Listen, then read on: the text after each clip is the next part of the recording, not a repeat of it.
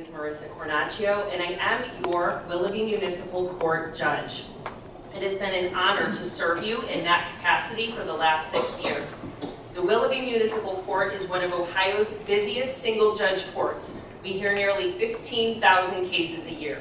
Since taking the bench in 2018, we've completely modernized this court, nearly all of which we were able to pay for through grant funding and specialized court funds. We launched a new user-friendly website. We replaced all of the aging court equipment. We moved as many servers as we could to the cloud.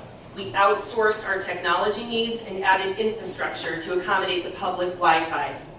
We interviewed vendors and selected a new case management system and under, underwent a complete case management conversion. We developed processes to collect unpaid fines and costs, and in 2018, we sent over $3 million out to collections to recover the aging accounts receivable. In the last five years, we collected over $1 million. We've worked with the Lake County ADAMHS Board to provide an on-site forensic case manager, and we've worked with Forbes House to have a victim advocate present in court. Both of these positions are grant funded. The accomplishment that I'm most proud of is the Veterans Treatment Docket. In 2021, the court earned final certification from the Ohio Supreme Court to become the first specialized docket in Lake County focusing on the needs of our veterans. That means veterans who find themselves involved in the criminal justice system can obtain services that focus on their specific needs. They develop job skills, connect to VA services, engage in treatment, stabilize their living situation, and they reconnect with their veteran peers.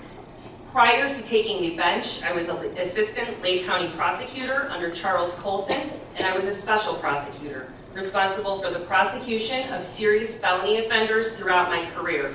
I am married to Michael. We have three children. We live in Willoughby, and Gianna, my middle daughter, is here. I want to close by letting you know that serving you as your judge has been a privilege. It's a privilege I do not take lightly. I am committed to building strong communities. This is where my family lives and where your families live. I am devoted to upholding the rule of law in a fair and impartial way. I will work to continue to increase public trust and confidence in our judiciary. And I would be honored if you would re-elect me to continue the great work that we have started at the Willoughby Municipal Court. Thank you so much.